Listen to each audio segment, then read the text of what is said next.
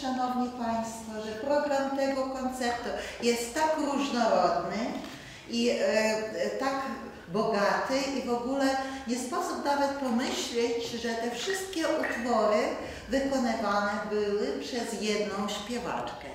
Lecz tak naprawdę się zdarzyło. Wobec tego podzielę cały program na trzy bloki. Pierwszy blok obejmuje muzykę ukraińską. Drugi blok muzykę kameralną e, kompozytorów europejskich i trzeci blok muzykę operową, arie z oper. Bo naprawdę Kruszelnicka potrafiła być świetną we wszystkich tych kierunkach. E, Co za tym idzie, każdy prawie z tych utworów miał rolę symboliczną w jej karierze artystycznej.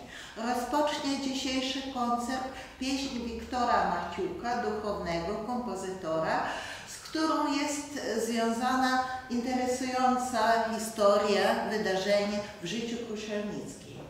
Po koncercie na dworze carskim w Petersburgu car Aleksander II zapytał się, co to za piękna pieśń, jaką pani zaśpiewała na koniec na bis. Ona powiedziała, jest to pieśń mego narodu.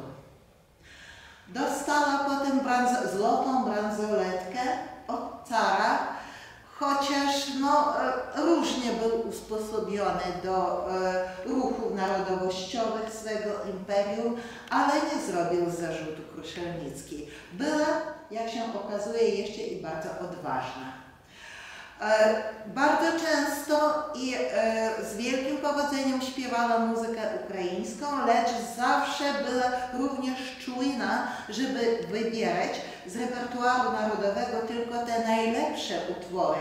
Była bardzo surowym krytykiem dla siebie i dla tej muzyki, jaką śpiewała. Zawsze musiała to być twórczość na najwyższym poziomie.